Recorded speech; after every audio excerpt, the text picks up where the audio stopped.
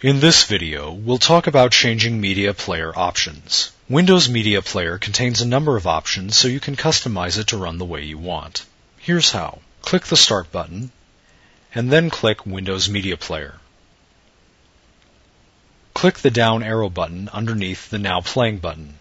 Select from one of the Enhancement, Visualization, and Plugin options in the menu by moving the mouse pointer over the menu option and then selecting the option from the flyout menu. If you want to view more options, click More Options in the menu. The Options window appears and displays the Player tab so you can check for automatic updates and set player settings. You can also click on one of 10 other tabs.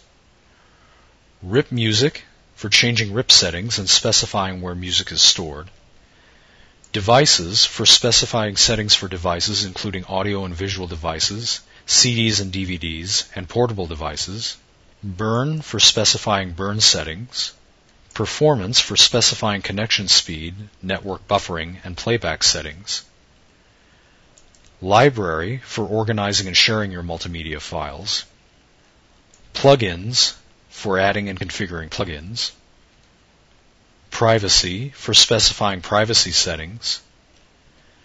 Security for allowing or denying the operation of script commands and rich media streams.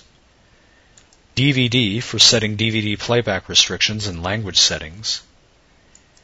And Network for specifying settings for streaming media content from the Internet. For now, click the OK button.